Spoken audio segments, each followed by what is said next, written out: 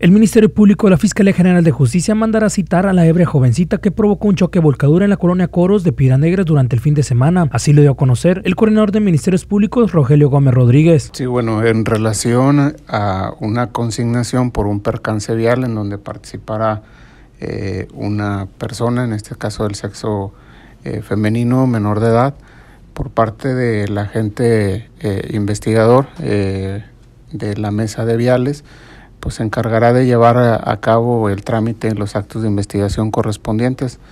En este caso, pues eh, primeramente hay que llevar a cabo el dictamen de tránsito terrestre para efectos de eh, deslindar o en este caso fincar una responsabilidad. Eh, tratándose en este caso, pues persona menor de edad que tuviera en este caso que fuera responsable de este accidente, pues se vería en este caso la consignación por parte del agente especializado en el área de adolescentes. ¿Se va a mandar citar a la presunta responsable, que, quien aparece como presunto responsable? Bueno, como parte de los actos de investigación, eh, primeramente pues el Ministerio Público tendría que deslindar la responsabilidad o en este caso fincar una responsabilidad.